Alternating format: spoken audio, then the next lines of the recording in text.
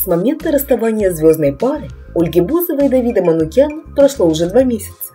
И если изначально поклонники пары все же надеялись на их воссоединение, то сейчас становится очевидным, что каждый, похоже, решил пойти своей дорогой.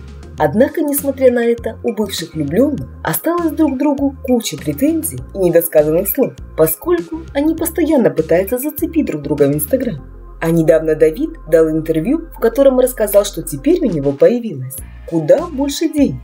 Потому что когда он был в отношениях с Ольгой, ему приходилось покупать ей дорогостоящие украшения, которые она так любила.